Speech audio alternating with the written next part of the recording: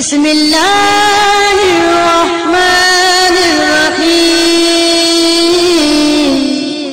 السلام علیکم ورحمۃ اللہ وبرکاتہ۔ آس مسلم ٹیچر میں میں آپ کو خوش آمدید کہتا ہوں، اگر آپ ہمارے اسی طرح روحانی علاج اور وظائف سے فائدہ اٹھانا چاہتے ہیں، تو ریڈ سبسکرائب کا جو بٹن ہے، اس پر کلک کر دیجیے اور ساتھ میں نوٹیفیکیشن کی جو بیل ہے، اسے لازمی پریس کریں تاکہ ہماری ہر نئی آنے والی ویڈیوز آپ سب سے پہلے دیکھ سکیں۔ جزاک اللہ خیر۔ بسم اللہ الرحمن الرحیم۔ السلام علیکم ورحمۃ اللہ وبرکاتہ۔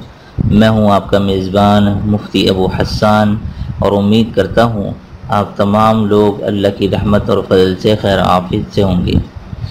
آج کا جو وظیفہ ہے، بہت ہی با کمال اور بڑا ہی با اثر اور بڑا ہی عجیب عمل بتا رہا ہوں کہ جس سے انشاءاللہ تعالی شوال کے مہینے میں، شوال کا جو یہ پورا مہینہ ہے اس میں آپ روزے بھی رکھیں گے، چھ روزے اب یہ ضروری نہیں ہے کہ لگاتار ایک ساتھ رکھیں یا عید کے فوراً بعد رکھیں، بلکہ آپ مختلف دنوں میں بھی رکھا جا سکتا ہے، ٹھیک ہے؟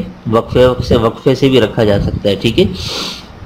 تو بہرحال شوال کے مہینے میں اگر آپ لوگ روزے رکھیں گے اور اس کے ساتھ ساتھ یہ عمل اگر آپ نے شوال کے مہینے میں چاہے اس میں روزہ رکھا ہو یا نہ رکھا ہو یہ عمل اگر آپ لوگ کر لیں، بہت سے لوگوں کے مجھے میسیجز آتے ہیں کیونکہ مختصر سا عمل بتا دیں مشکل سے مشکل حاجتوں کو پورا کرنے کے لیے۔ تو میں مطالعہ کر رہا تھا کتاب کا، تو میری نظر سے یہ عمل گزرا۔ تو میں نے سوچا کہ اس حوالے سے کیوں نہ میں ایک وظیفہ بنا دوں کہ جس سے آپ تمام لوگ جب بھی کوئی مشکل حاجت پیش آ جائے، کہ جس کو، جس سے آپ نکلنے کا کوئی راستہ نہ ہو، اور تو اس کے لیے بڑا با اثر ہے۔ تو یہ عمل کیجیے گا انشاءاللہ تعالی، اللہ کے حکم اور فضل سے زبردست آپ لوگوں کو فائدہ ہوگا۔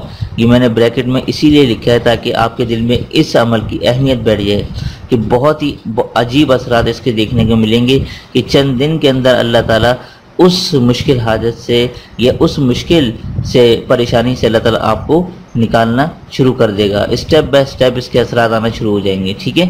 تو یہ آپ ضرور کیجیے گا، انشاءاللہ تعالیٰ آپ لوگوں کو زبردست فائدہ ہوگا۔ یہ جو ہے آپ نے کرنا کیا ہے، اس میں میں آپ کو بہت مختصر سا عمل ہے۔ آپ نے بس آپ کی آپ کی محنت اور لگن آپ لوگوں کی چاہیے، ٹھیک ہے؟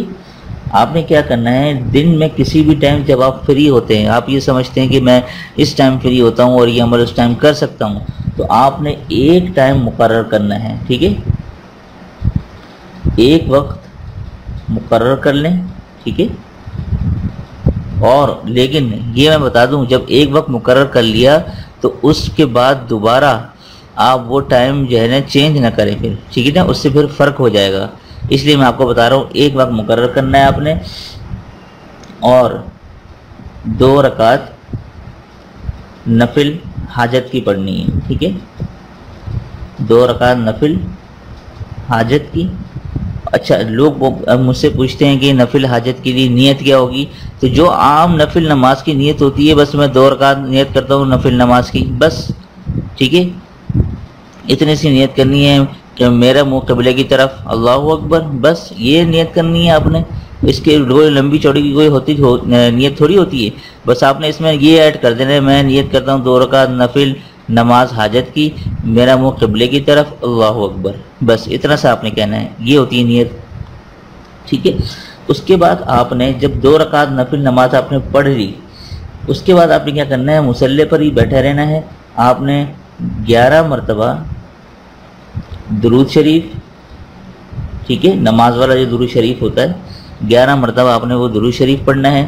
اور اس کے بعد آپ نے سات سو چھیاسی مرتبہ، ٹھیک ہے، سیون ایٹ سکس، آپ لوگوں نے بہت جگہ دیکھا ہوگا کہ یہ بسم اللہ کا شارٹ ہے۔ تو لوگ یہ عادات میں اس کو لکھ دیتے ہیں۔ تو سات سو چھیاسی مرتبہ بسم اللہ پوری پڑھنی ہے، ٹھیک ہے۔ یہ میں لکھ دیتا ہوں، بسم اللہ الرحمن الرحیم۔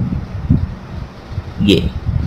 اب آپ نے سات سو چھیاسی مرتبہ بسم اللہ الرحمن الرحیم خوب توجہ کے ساتھ اس کو پڑھنا ہے، ٹھیک ہے نا؟ اور یہ کہ توجہ آپ کی اس میں برقرار ہو، تسبیح لے لیں یا کاؤنٹر لے لیں، آپ اس میں آپ نے اس کے پڑھنا ہے۔ اس دوران آپ نے ادھر ادھر اپنا توجہ ادھر ادھر بھٹکانی نہیں ہے کہ آپ لوگ جو ہے ادھر ادھر دیکھتے رہیں کہ آپ کی، آپ کے زبان چل رہی ہو، لیکن آپ کا ذہن کہیں اور ہو۔ ایسا نہیں کرنا آپ نے۔ اس عمل میں آپ کی خاص توجہ درکار ہوگی، ٹھیک ہے نا؟ کہ بس یوں یوں سمجھیں کہ اللہ تعالیٰ آسمان سے ایک رحمت نازل کر رہا ہے اور میری تمام مشکل حاجتیں اللہ تعالیٰ میری پوری کر رہی ہے۔ جس مشکل میں آپ پھنسیں، اللہ تعالیٰ آپ کو اس سے نکال رہا ہے۔ تو یہ آپ نے ذہن میں تصور کرنا ہے، ٹھیک ہے؟ اور اس کے بعد پھر آخر میں گیارہ مرتبہ درود شریف، ٹھیک ہے؟ اچھا بہت سے لوگ میں جب اول آخر لکھتا ہوں تو لوگ کہتے ہیں کہ اول آخر درود شریف کا مطلب کیا ہوتا ہے؟ تو میں لوگوں کو واٹس ایپ پہ میں نے جواب بھی دیا تھا آج۔ تو اول آخر کا مطلب ہوتا ہے کہ شروع میں پہلے، اول کا مطلب شروع میں گیارہ مرتبہ، آخر میں مطلب پھر آخر میں یعنی پہلے درو شریف پڑھ لیں، پھر بیچ میں وظیفہ، پھر آخر میں درو شریف۔ یہ ہوتا ہے عمل، ٹھیک ہے؟ تو یہ عمل آپ نے کتنے دن کی نیت سے کرنا ہے؟ یہ دیکھ لیں آپ لوگ۔ بلکہ میں اس مارکر سے لکھ کے بتا دیتا ہوں۔ مسلسل اکیس دن کی نیت سے کرنا ہے آپ نے، ٹھیک ہے؟ اکیس دن کی نیت سے کرنا ہے آپ نے، انشاءاللہ تعالی اللہ کے حکم اور فضل سے آپ کی تمام حاجتیں جس مشکل میں آپ پھنسے ہیں، ٹھیک ہے؟ شادی کا مسئلہ ہے، پیسے نہیں ہو پا رہے، قرض کا مسئلہ ہے کہ کسی بینک کا لون چکانا ہے، بہت بڑا قرض ہے کہ قرض واپس نہیں ہو پا رہا، اس کے لیے کر لیں آپ۔ بڑا زبردست ہے۔ پھر آپ اپنی زندگی میں اپنی مشکل حاجت کو پورا ہوتا ہوا آہستہ آہستہ دیکھیں گے۔ ٹھیک ہے؟ یہ اکیس دن کی نیت سے کرنا ہے۔ ویسے تو ایک ہفتے کے اندر ہی اس کے اثرات آنا شروع ہو جائیں گے۔ ٹھیک ہے نا؟ ایک ہفتے کے اندر۔ یہ کہتے ہیں، کتابوں میں یہ لکھا ہے کہ ایک ہفتے کے اندر اس کے اثرات آنا شروع ہوں گے۔ لیکن آپ نے اکیس دن تک مسلسل کرنا ہے۔ جب آپ اکیس دن تک مسلسل کریں گے تو اللہ تعالیٰ آپ کو خاص رحمت کے ساتھ آپ کی تمام مشکل حاجتیں پوری کریں گے۔ یہ بڑا زبردست ہے، یہ شوال کے مہینے میں کرنا ہے آپ نے، اس کو ضائع نہیں ہونے دینا۔ اور جتنے بھی حاجت مند ہیں، جن کو آپ جانتے ہوں، ان تک یہ فرض سمجھ کر پہنچائیے گا۔ ٹھیک ہے ان شاء اللہ تعالیٰ آپ لوگوں کو بھی صدقہ جاریہ میں حصہ ڈل جائے گا۔ تو امید کرتا ہوں آج کا یہ وظیفہ آپ لوگوں کو پسند آیا ہوگا۔ اسی کے ساتھ ساتھ آپ لوگ مجھے بے حد دعاؤں سے نوازتے ہیں۔ اس کا بے حد میں مشکور ہوں۔ میں اس کو الفاظوں میں بیان نہیں کر سکتا کہ آپ لوگ کتنا مجھے سپورٹ کرتے ہیں۔ اللہ تعالیٰ آپ تمام لوگوں کی اسی طرح کی حاجتیں پوری کریں اور اسی طرح سے آپ لوگ مجھے سپورٹ کریں۔ میں آپ لوگوں کے لیے تہ دل سے ہر نماز میں دعا کرتا ہوں۔ اسی طرح آپ لوگ بھی مجھے اپنی دعاؤں میں ضرور شامل رکھیں۔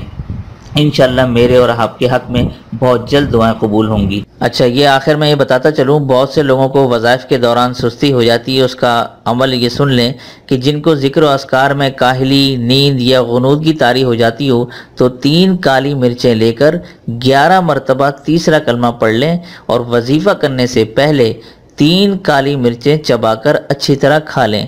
اور اب آپ نے وظیفہ شروع کرنا ہے انشاءاللہ تعالی پورے وظیفے میں نشاط چستی رہے گی اور پوری قوت کے ساتھ وظیفہ ہوگا اور اس کا انشاءاللہ تعالی نفع بھی زیادہ ملے گا اور یہ وظیفہ جلدی بھی اثر کرے گا انشاءاللہ تعالی۔ دیجیے آج کے اس مختصر وظیفے کے ساتھ مجھے اجازت، تب تک اپنا اور اپنوں کا ڈھیر سارا خیال رکھیں، پڑوسیوں کے حقوق کا خاص خیال رکھیں اور مجھے اپنی خاص دعاؤں میں ضرور شامل رکھیے گا۔ اور میری دعا ہے کہ اللہ تعالیٰ آپ تمام لوگوں کے گلشن حیات کو، اپنی نعمتوں کی خوشبو سے سے ہمیشہ معطر اور مالا مال رکھے اور خوشیوں کے لازوال خزانے کے ساتھ اللہ تعالیٰ آپ تمام لوگوں کی حفاظت کرے اور تمام حاجات پوری کرے۔ آمین یا رب العالمین۔ السلام علیکم ورحمۃ اللہ وبرکاتہ۔